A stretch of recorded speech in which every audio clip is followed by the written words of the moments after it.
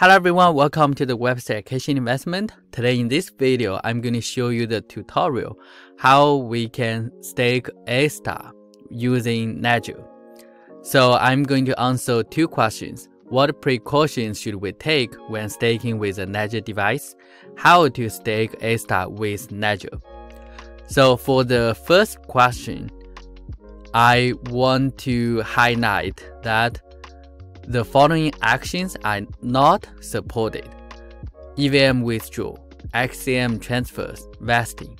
So don't use the EVM Astar, only use the native Astar for the dApp staking. The supported features are stake on stake, claim rewards, bond on bond, transfer assets, batch calls, and uh, the Ledger support those features are Ledger S, X, and S Plus. So now let's show you how we can connect Ledger. So if you connect to your JS, right now I don't have Ledger connected. Um, so that's a button actually you can enable that. And I'm using the Nano S Plus. Um, so you can connect the Ledger device. Um, and uh, if you refresh, probably it's not detected. Don't worry, if that's the case, there are different ways you can connect to the ledger. So right now, as you notice, it's not showing up. So I'm going to go to the extension and select JS.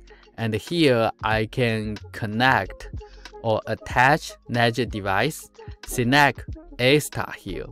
So select Astar network put a name and import that account. So now this is the address for the Ledger Astar. And now come back, you probably need to refresh this portal. And now you can notice uh, Ledger Astar cow is there. So I'm going to connect the Ledger.